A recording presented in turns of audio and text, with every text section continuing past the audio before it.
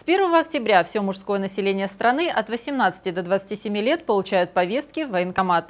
Более 150 тысяч солдат-срочников пополнят ряды российской армии, а военный комиссариат Краснодарского края отправит на службу около 5,5 тысяч новобранцев.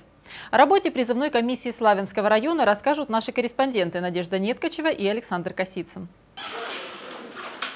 Товарищ председатель комиссии, гражданин Ященко на призывную комиссию прибыл. Виталий Ященко – мастер спорта по тяжелой атлетике. Он – студент факультета физической культуры, спорта и туризма Кубанского государственного университета.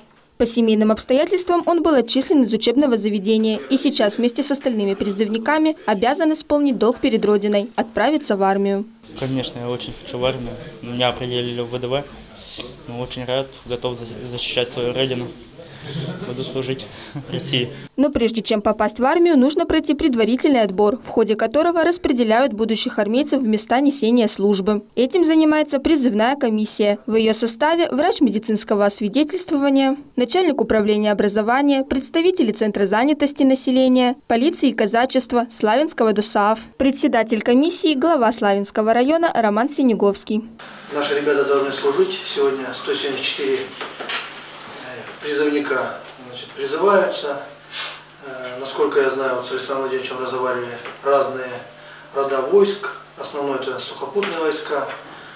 Поэтому надеюсь, что все ребята здоровы, что все достойно себя значит, будут вести, отслужат, ну и вернутся на родину. На этот раз из Славянского района 174 новобранца пройдут комиссию и приступят к службе в вооруженных силах. А уж в какие войска отправятся, решат члены комиссии. Войска распределяются в зависимости от категории годности, то есть состояния здоровья призывника.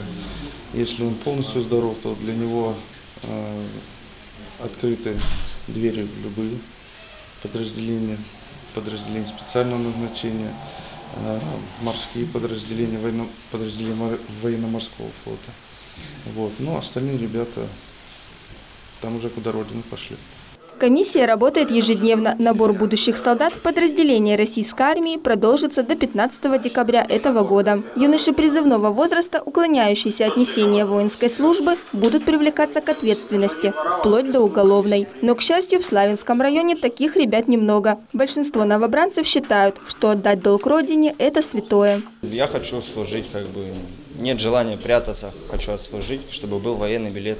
Войска российской армии первые новобранцы отправятся уже совсем скоро, в середине октября, и по традиции из Славянской автошколы. Можно сказать, что именно с этого момента для каждого из молодых парней начнется новая, совсем иная страница жизни – армейская. Надежда Неткачева, Александр Косицын, Константин Монастыренко. Программа «События».